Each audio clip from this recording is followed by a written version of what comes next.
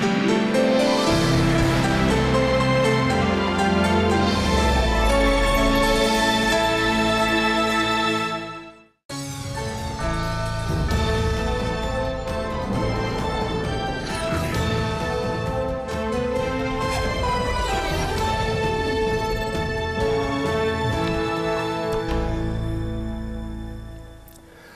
Welcome to On the Level, broadcasting from the Blue Ocean Network studios here in Beijing. My name is Fergus Thompson.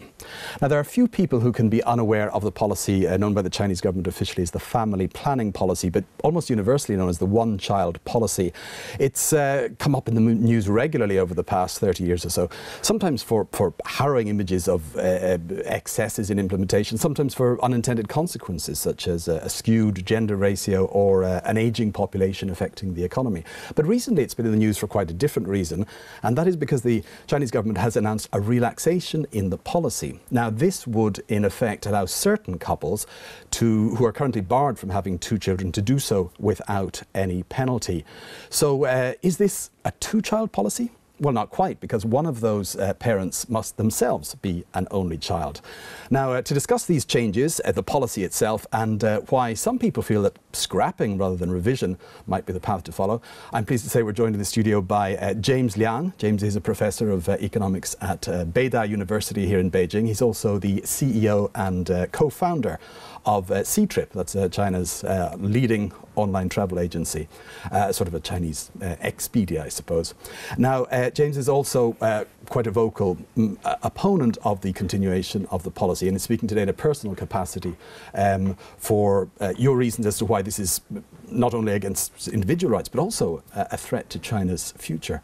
Um, James, welcome to On the Level. And uh, I would like to say first, you are a, obviously a very successful entrepreneur, a very busy person. What led you to take such an interest in this topic and, and mm. to spend so much time in it? Because you write about it mm. regularly, mm. you comment on it regularly, you've written a book on mm. it.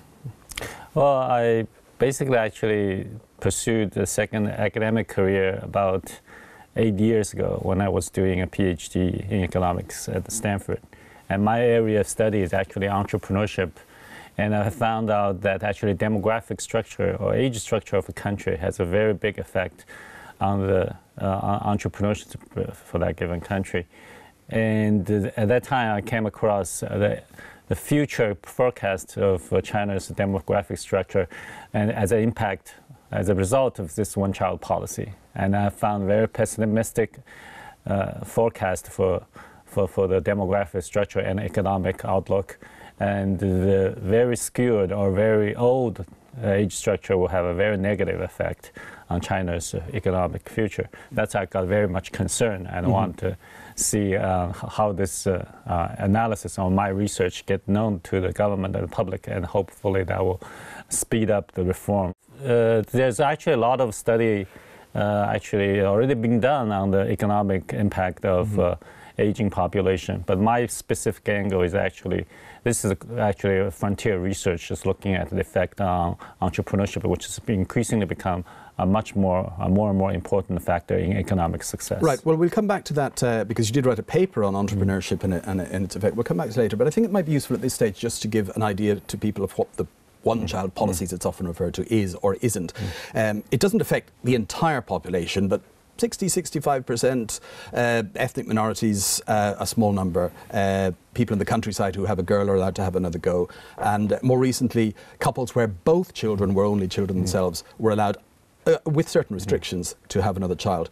Now we're moving to this uh, situation where only one of those parents has to be an only child. Do you think these relaxations, is this the beginning of the end for the policy? Well, certainly, yeah, but the pace uh, is uh, not fast enough. Uh, or China, I think, uh, probably taking its course and given the current pace of uh, you know reform, probably will do away with one-child policy in maybe five or ten years. Uh, that's uh, what the government you know implies. But uh, I think in China right now, given the level of development, given how low the fertility currently is, China should really do away completely the one-child policy because uh, to my calculation uh, and a lot of other demographers already predict that China will not have a, even a replacement level or much below replacement right. level. So for you, this is, this is a case of urgency. It's urgent that this that these reforms take place. That, that it should go immediately. Yeah, it's actually pretty urgent. Uh, on average, a woman only have 1.2 to 1.3 babies, and that's of course uh, as a result of this uh, very strict one-child policy Right. in the city and some sort of well, relaxed uh, uh, way of implementing it uh, In in in a, a rural area. Where, where, Uh, where okay. so in some cases, a second child can be had Yeah. the first the go. Right. So, but uh, uh, based on experience of other countries, if you have a no one-child policy, a complete you know, freedom to have as many as babies you Mhm. want, uh, China at this stage of development will probably have 1.5 babies per woman. So Right. that's about 20% gap between 1.2 and 1.5 because it's one-child policy. And if you do away with that and only half of the population, you probably see a rebound of uh, 15%. Um, but that's uh, over a long run. A lo- longer But in, in, the, in, the, in, the, in, the, in the short run, there may be some catch-up effect. So Right. you, you'll probably do um, 20 to 30 percent at most. 20 to 30 percent. That's those would be eligible. Will, re- will have a rebound. Um, looking at the, the, the, history of the policy it, it, from, from around 1980 when it was introduced now, um, if you had talked to a, a child on the street here and you ask them, what has the one child policy done? You'll get this answer almost trotted out immediately. It's averted 400 million births in China. This would have, uh, we would have had 400 million extra. Um, would, would, would, that be an accurate figure, do you feel? Ha- has it done that? Well, let's look first at, at, at, at something here. This is a, a, TFR, total fertility rate. I think we should explain. This is the uh, average number of women, uh, of children born to a woman, as you, as you said, um, over a lifetime. And we see from 1950 to 2010 there, it, it, it certainly drops a lot from up six a bit there down to sort of well under two. But actually the, the one child policy came into uh, place in 1980, the drop there seems to be the, the, the huge majority actually happened before that. So, what sort of success has the policy had? Yeah, that's certainly over exaggeration. A one child policy has reduced population by 400 million. Because that's under the assumption that the fertility will remain to be very high uh, without the one child uh, policy. Actually, when the urbanization comes around, when the you know the fertility rate uh, will, will drop nat- naturally, uh, as experienced by almost every other country. As you can see, before 1980s, uh, the fertility already started to drop rapidly to just above 12, uh, above replacement level.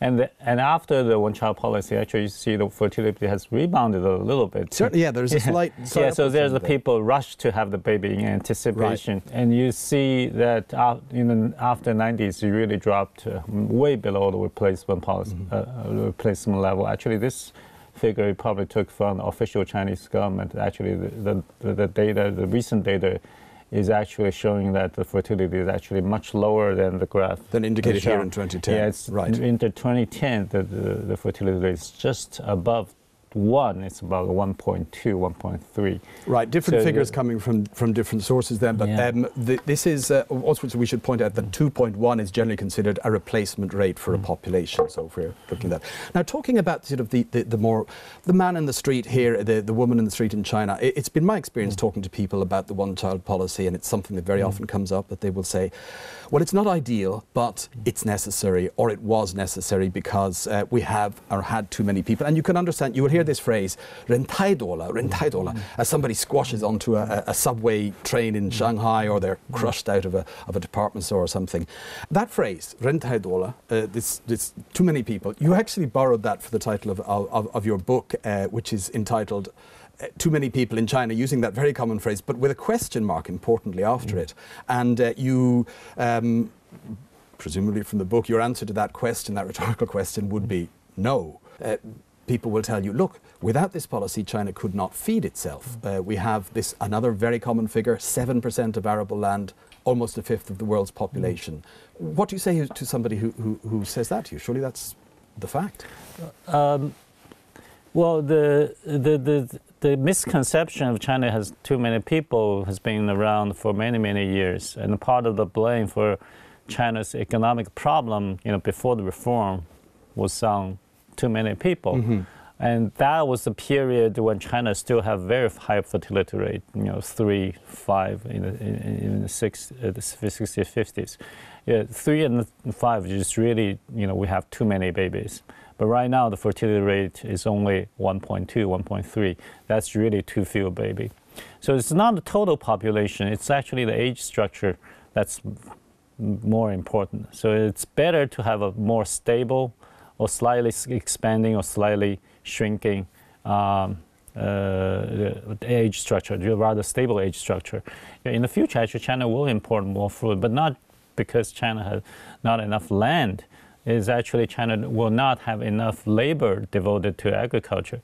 And right now, the, the young people in, in the rural area, they all actually go out to work in the factories. Mm-hmm. And what's remaining on the land to in the agriculture industry is older people, and they, they, these people will go away.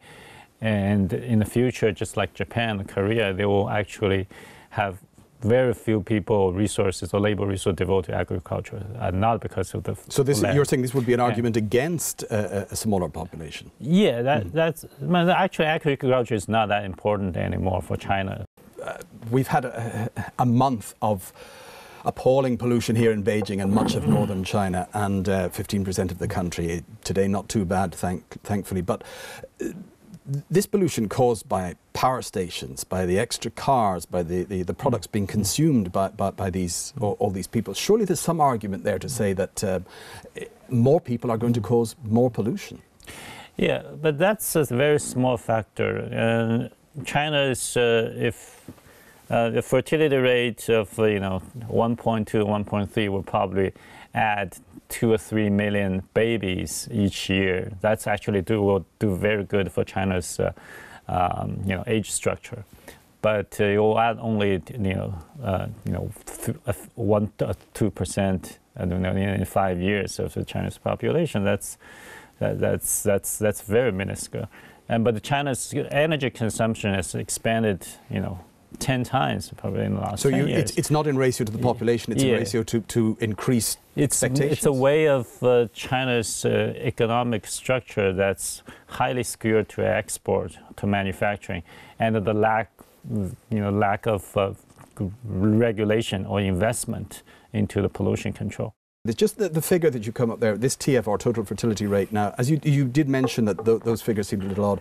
Uh, figures from the National Health and uh, Family Planning Commission come out with a figure of 1.8, which you would dispute, mm. and, and indeed which many others would, would, would dispute um, based on, on, census figures. There, there are various figures. So you're saying it, the actual rate is, you're basing this on census figures, is that correct?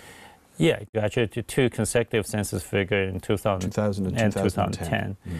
And it's, you know, it makes sense because you only allow most people in China to have one child and put very heavy fine mm-hmm. to have a second child. How right. could the right. Uh, be much more higher. Much how could the actual fertility well, well talking about talking that? about fines, you wrote recently um, an article about uh, somebody our viewers may know, Zhang Yimou, probably China's uh, most famous film director, who who paid a 1.2 million dollar approximately fine uh, after he was found uh, to, according to the authorities, to have had three children in contravention of the policy.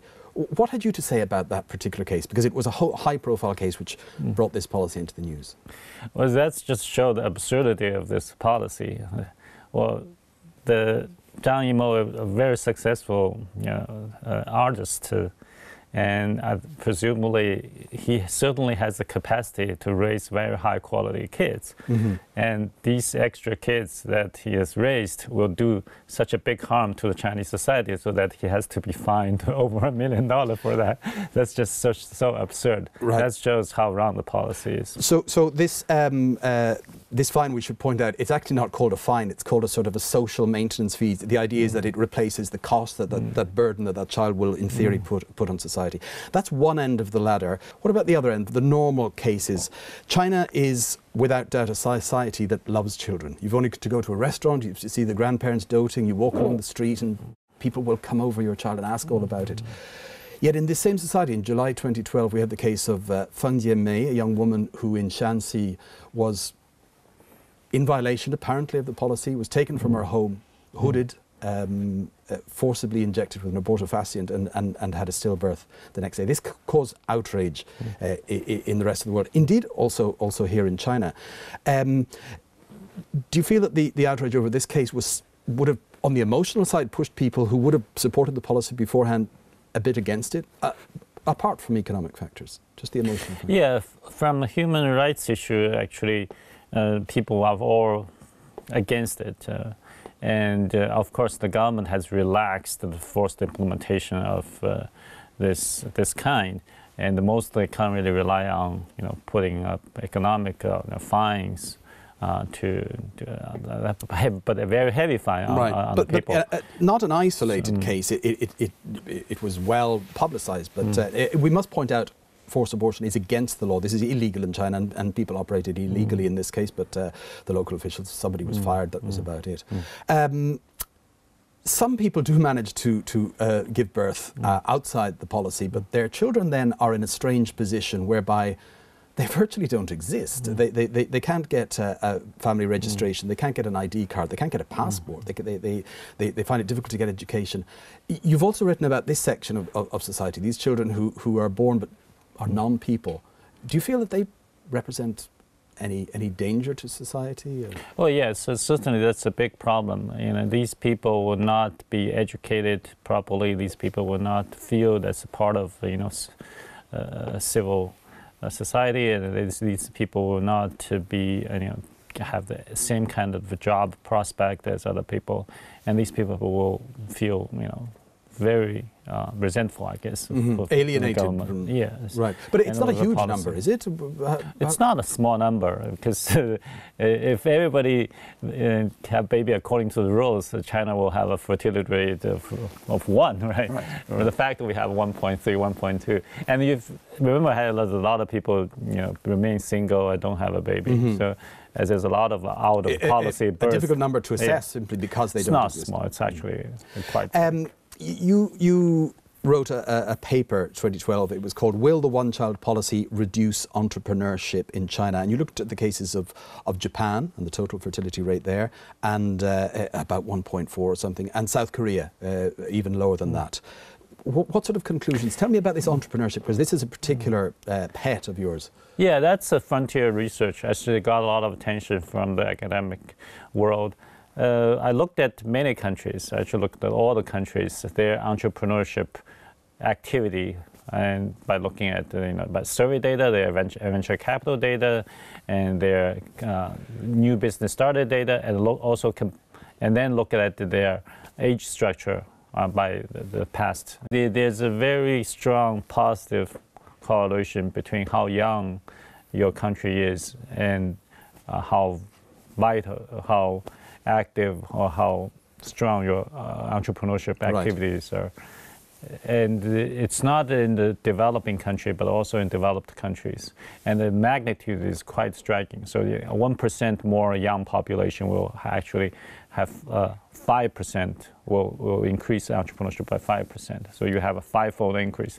And you actually can explain, for, for example, Japan, you actually explain half of its uh, economic problem or half of its uh, for low uh, entrepreneurship uh, rate. And you can explain half of the, that problem by, by its age structure. And we So all it's know lost Japan. that vitality for innovation Yeah. and entrepreneurship that it had in the Yeah. 1970s and Yeah. 80s. W- Yeah, exactly. Mm-hmm. So the, the fewer babies Japanese had in the 70s, 80s actually is a, a direct contribution to this economic problem in the 90s. And then people in the past, economists think that uh, the, the Japan problem, the Japan's economic problem in the 90s was due to like financial crisis and other factors. But my research has shown that the lack of, uh, you know, good new companies, like lack of a Silicon Valley, Right, right. it's kind of in Japan is actually a major economic problem and the low entrepreneurship rate.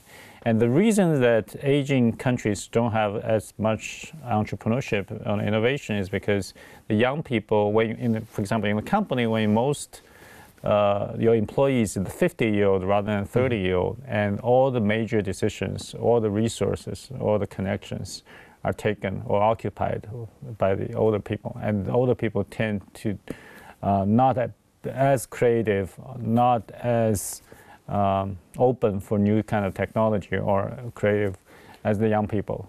If you're saying, let's accept what you're saying, that it is discredited, certainly past its sell by date, or minimally successful at huge cost, why on earth continue? Who is pushing for this policy to continue? Because we have to say there's an argument on the other side, and there are people at quite high levels within the government. In fact, this was mainstream thought until recently. Why the insistence on continuing it?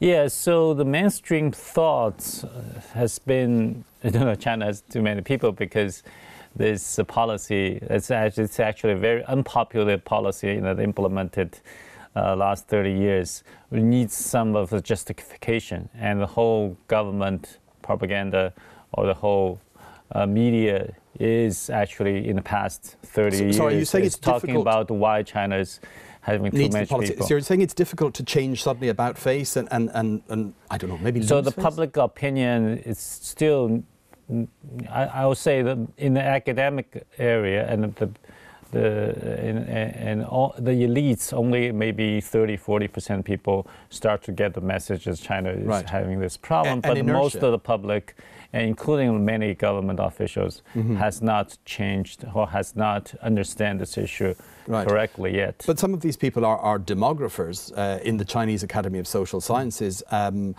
that's on the academic side what about on the on the the interest side this is a, a, an organization that employs half a million people. Um, that, that also mm. brings in, through those fines or, or maintenance fees, quite substantial uh, income for local mm. governments, which they can use 3.3 million, or 3.3 billion dollars in 2012.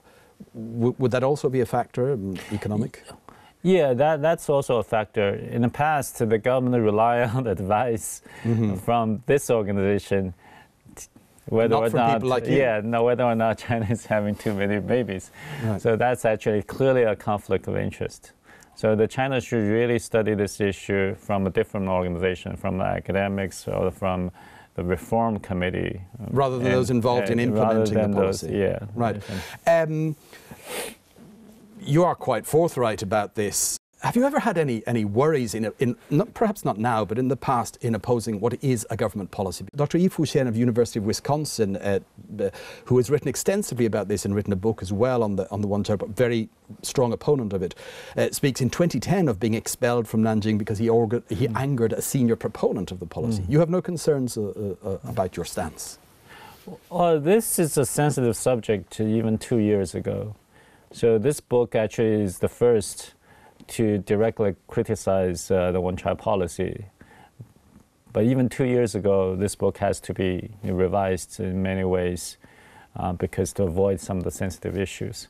But uh, in the last two years, I think the public opinion has changed quite a bit and this right now, this is uh, not a sensitive subject anymore. And you also see the government is moving to the right so, direction. So it's, it's open for discussion. Yeah. No, no fear of harassment. Uh, uh, at least not if you don't do it from a very vocal human rights right. point of view. Staying always within the law and, and, and yeah. Uh, doc, Dr. E, uh, in fact, Dr. Yi Fuxian, that, that uh, doctor from the University of Wisconsin, published a book also, but it was banned here initially. I think it has been published uh, which also addresses the policy in, in quite strong mm. terms. And he now, I, I, believe, like you, speaks quite openly here in China. Yeah, that, that's exactly. Dr. Yi Fuxian wrote a very good book, but he's only been allowed to publish in Hong Kong. Uh, so, in, but in the last two years after this book, a lot of books are on this subject. Right, so, been so published a sea change in the attitude in, in, on the official in, attitude. On the mainland, and the media is very can be openly mm-hmm. discuss this subject. Um, as I said, you're, you're, quite forthright about this, and not, not just at, at a personal level. Um, uh, but using your sort of position in business, your company, Ctrip, um, has recently begun a, a, a, campaign, as many companies do. Uh, I think we just have a look at it here. Um, th- this campaign, uh, your slogan is as a travel agent, if you want to go, just do it. Mm. And you use this sign, those, those characters on the left there actually say, if you want to give birth, just do it. And then you offer certain incentives to people who, who become pregnant over the, the, the, the next mm. month or so. Uh, and, and and they get extra sort of benefits using using the company like this uh, mm. to, to sort of to push a social policy. Do you think that's a sort of a trend, something that might continue in China? Because generally we see mm. social policy driven from the government side. It, this is corporate, not just corporate responsibility, but corporate having a particular ideology. Well, well, it's not an ideology. I mean, it's a, it's a simple you know, uh, fact that the people uh, you should have, uh, you know, if they want more baby, then should go ahead have it. It's better to have two babies and for a family. Uh, that's that's just as That's simple. I, the problem is, uh, even China relaxed this one-child policy.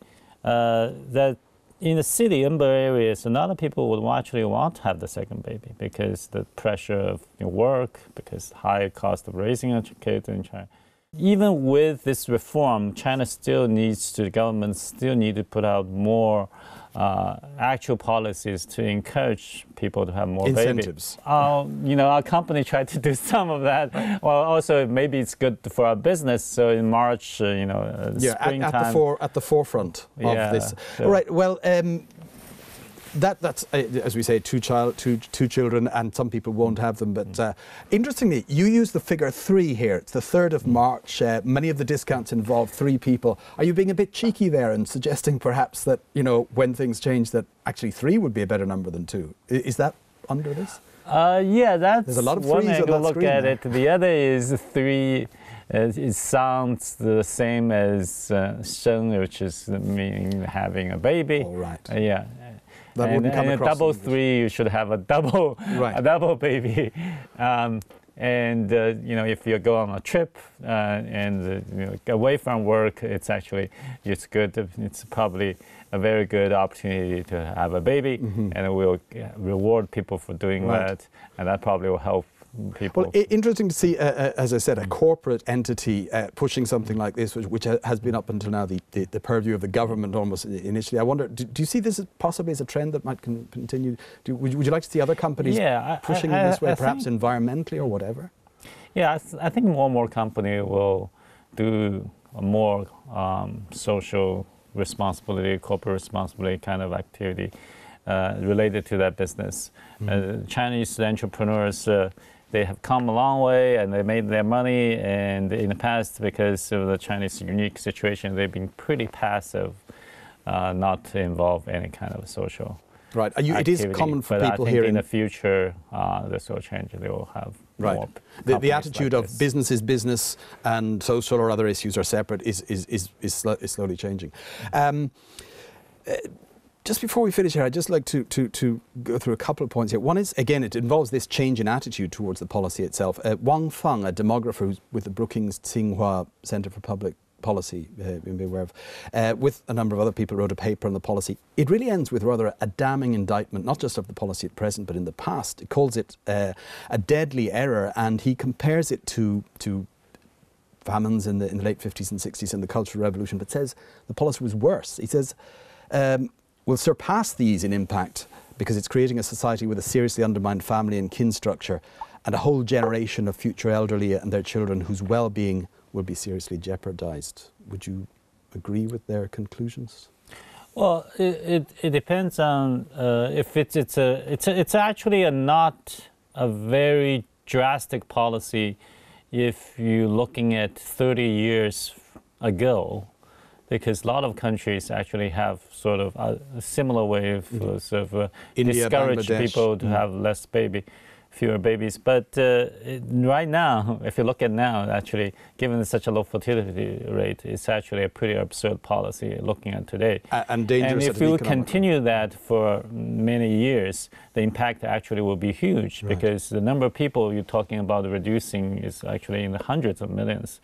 I mean, we know we all know that some of the past policies may only affect, you know, a very a short, short period of time and and can be- maybe tens of millions Right. of people. But this, Um, I think it, it can't be argued by anybody for or against that immense suffering and sacrifice for, for families over this period. Chinese women, particularly. A, a, a former family planning official called Zhang Erli, in a, in a rather long TV interview recently, said he, he finished up, or he, he said in this interview, he was involved in implementing this policy. I feel guilty. Chinese women have made huge sacrifices. A responsible government should repay them.